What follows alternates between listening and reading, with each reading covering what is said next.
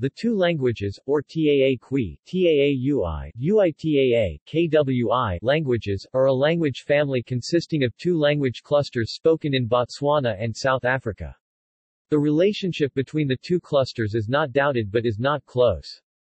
The name Tuu comes from a word for person, common to both branches of the family.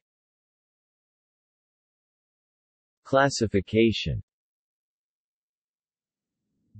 the Tuu languages are not demonstrably related to any other language family, however they do share a great many similarities to the languages of the Kara family. This is generally thought to be due to thousands of years of contact and mutual influence that is, a sprachbund, but some scholars believe that the two families may eventually prove to be related.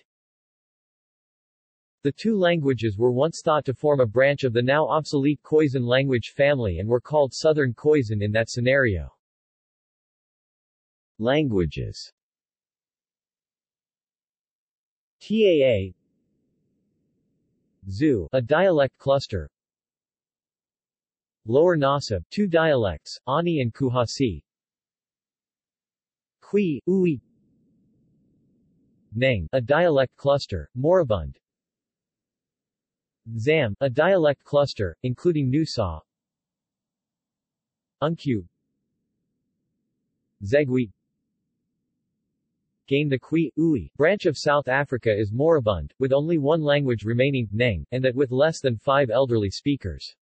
Kui languages were once widespread across South Africa. The most famous, Zam, was the source of the modern national motto of that nation, Ki Zara Ki.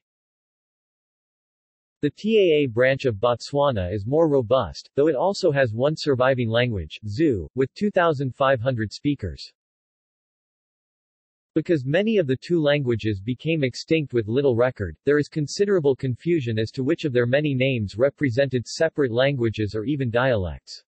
See list of Khoisan languages for some possibilities. The Tuu languages, along with neighboring Mkhoi, are known for being the only languages in the world to have bilabial clicks as distinctive speech sounds, apart from the extinct ritual jargon Damin of Northern Australia, which was never anyone's mother tongue.